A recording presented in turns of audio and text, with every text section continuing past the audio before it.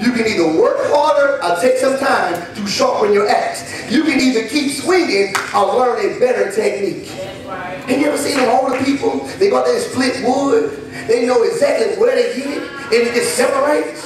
And you think it's because they're stronger, and they just know they, they're just stronger. So, so when daddy do it, he just, he just stronger. They can, they can see him hit it, he just stronger than me. That's why I happen. I've learned in playing with us, it's not about, y'all better get this, how strong you are. It's about the wood. It's about the technique that you use.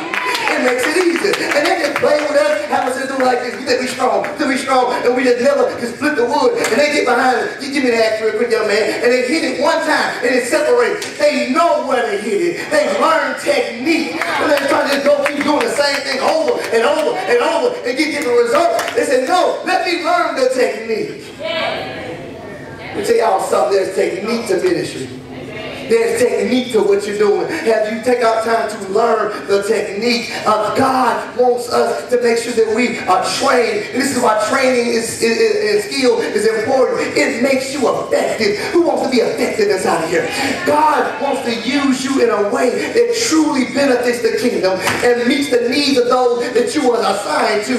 But it's not all about how hard you work. It's about how smart you work. Zechariah 4 and 6 says, Then he said to me, this is the word of the Lord to Zerubbabel, to, Zerubbabel. I said, not by might, nor by power, but by my spirit, said the Lord of hosts. You better get this, that sometimes we working by our might, working by our power, but we the spirit of God on us, a spirit of excellence on us. It's about how hard you work. It's about how the spirit that you have inside of you. It's about the technique that you have. It's not about might, It's not about power. I'm going to preach something real quick. The Spirit of God, it comes to equip you to make you work smart. People be telling me, you know, I'm going to wait till the Lord do this, I'm going to give the Lord do this, I'm going to give this a pulpit, and just wait till the Lord give me a word. But guess what? The Spirit told me to study the night before. Ah, y'all heard me? Spirit told me prepare. If you're going to sit there, if you're going to do whatever you're doing for God, have you ever had the Spirit to make you prepare and get ready for what's on the horizon? Anybody can preach over you and say, Mother, I believe God right now. There's a call on your life. God will do some great things. And I believe God you're going to be mighty and powerful. What you we think sometimes, Lord, thank God they called me out. I must be special. But we're not thinking in my mind, Lord, let me prepare myself. Because I know what I must do. It takes some preparation. It takes some technique. It takes some work. You expect more from me. We gotta say, Lord, not by the might, not by the power, but give me a spirit of excellence. Oh, I'm gonna preach till don't get out of here. The Spirit of God does that. The skilled can do twice the work with half the effort.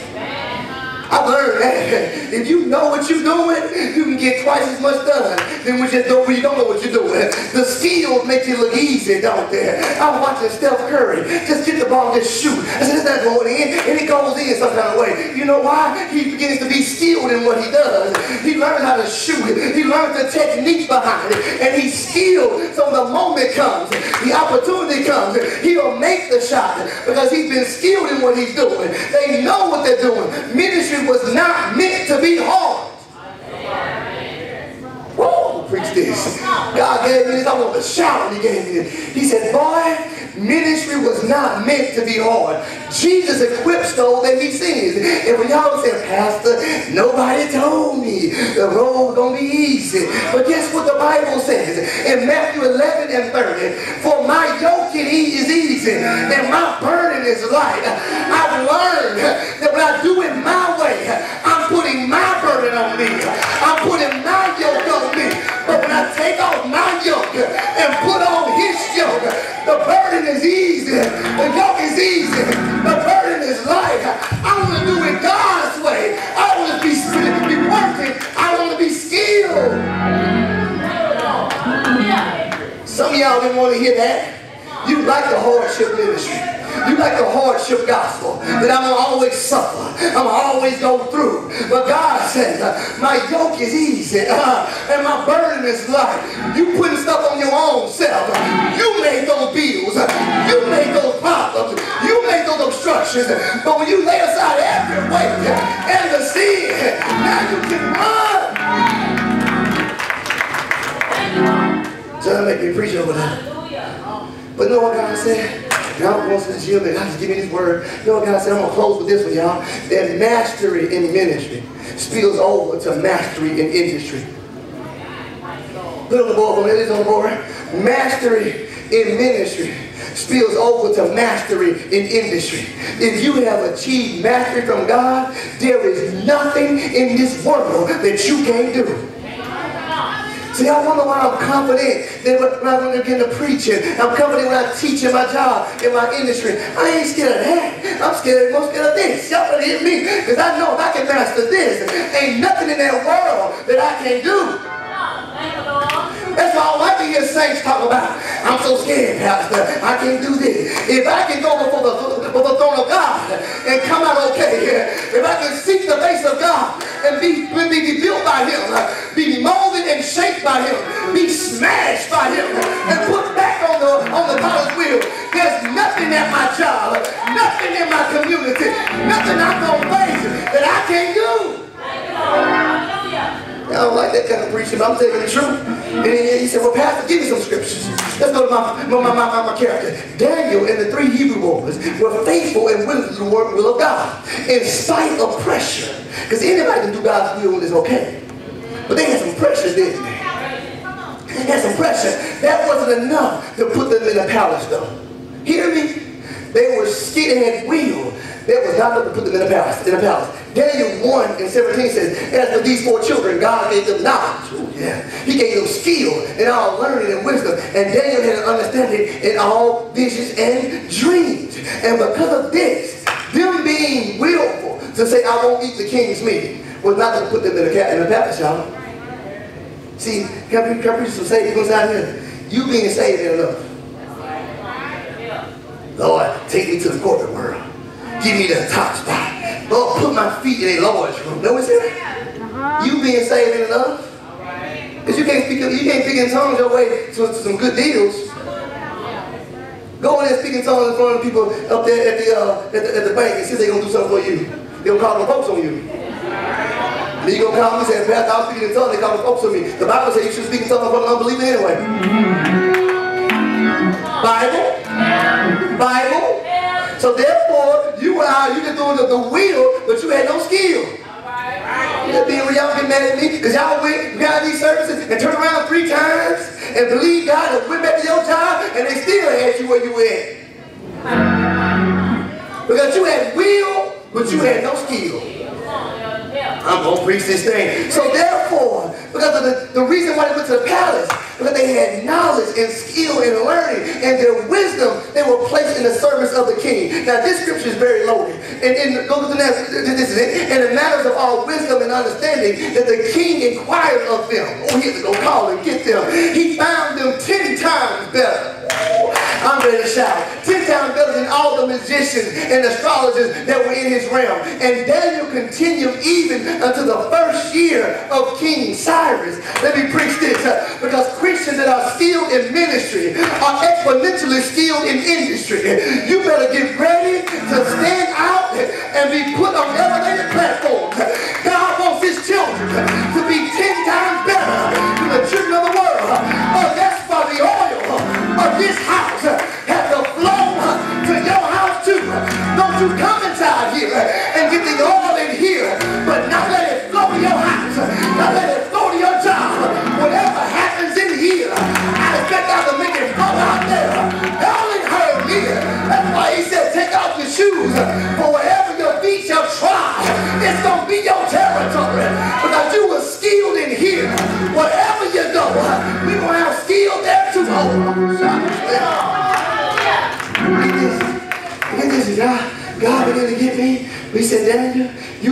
People, I want y'all ten times better. Somebody say ten times better. Somebody say ten times better. Uh, I know you sitting by somebody at the job, got a better degree than you. They're doing better than you. They're smarter than you. But when the Holy Ghost gets on me, when I've been working for God, I'm giving my ways to God. He said, commit your ways to the Lord and he gives you desires in your heart. He will establish your ways. I to commit my ways first. And once I committed my ways, when I go into the job tomorrow, I was skilled out there. I'll be skilled in here. I want to be 10 times better. Oh, you know why he wants you 10 times better? Because that's a witness. Somebody said that's a witness. You see, you see, when he elevates other people, they give that they don't say that God did it. But if I elevate you, y'all hear me. If I elevate you, you're going to say, I thank God for this opportunity. I thank God that he put me here. It wasn't me. I just submitted myself to be skilled for God. And what I do is at the house, will be flow to this house and flow to that house. The oil on this house should be flowing in Halliburton, flowing in Mississippi, flowing in the nation. Y'all gotta say, Lord, I want to be skilled. If you don't put high five. Just three people and tell them I want to be skilled.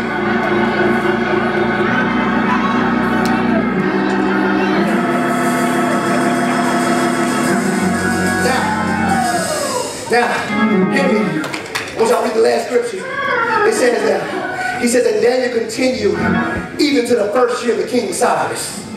And God says, I'm going to preserve you to outlast everybody around you. Y'all don't hear that one. You see, he started under Nebuchadnezzar. But God says, I preserved Daniel. Then when Nebuchadnezzar left, the next guy picked him up. Oh, y'all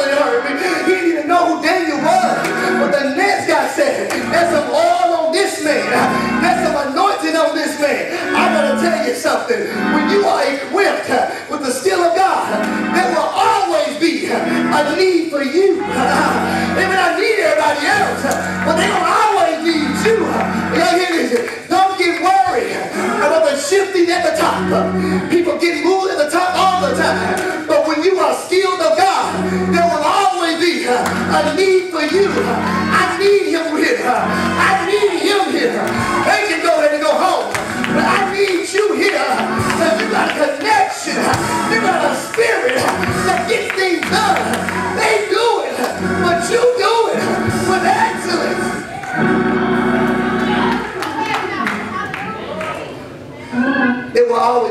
need for the skilled. That's right. Amen. And if they get rid of you, hear me, this is for somebody. I don't know who this is for. If they get rid of you, I'm going to give you exactly what God told me to say. Can you say what he said? I'm going to tell you what he told me. He said, if they get rid of you, it is only because you've learned enough to start your own. All right. Hallelujah. Hallelujah. Y'all they get rid of you, it's only because you've been there long enough. You've been in Potiphar's house long enough that now God says, I want to give you your own. Y'all better hear me.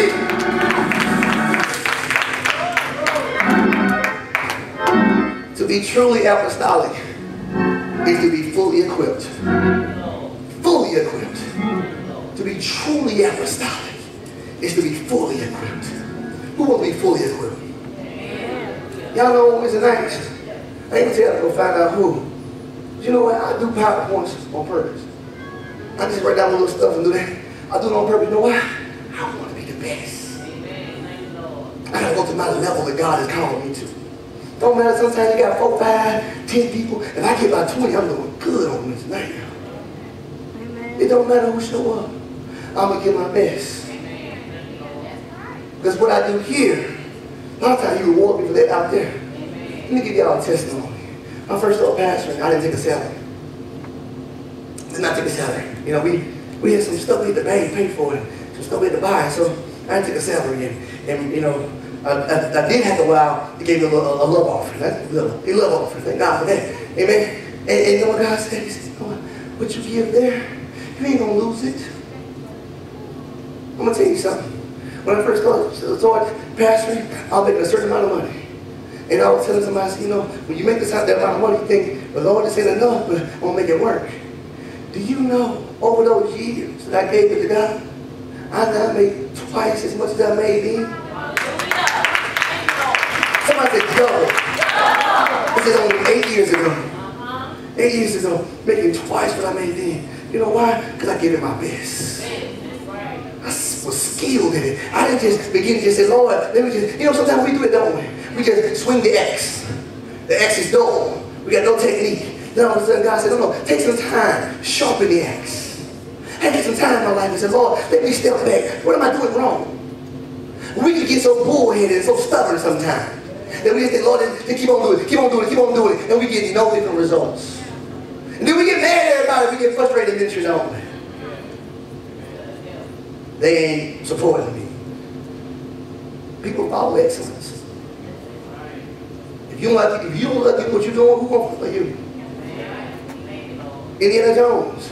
Who's more foolish? The fool or the fool who follows him? Let's Star Wars Indiana Jones. Star Wars. Star Wars. I don't know. We had a box set of both of those. So people ain't gonna follow somebody what what they're doing. They follow excellence, don't they? That's right. This is why when we do uh, stuff on my syllabus, I gotta put that my degrees up there. I gotta put my degrees because they say, you know, you've been trained. Now some of y'all, let me tell y'all this, God want everybody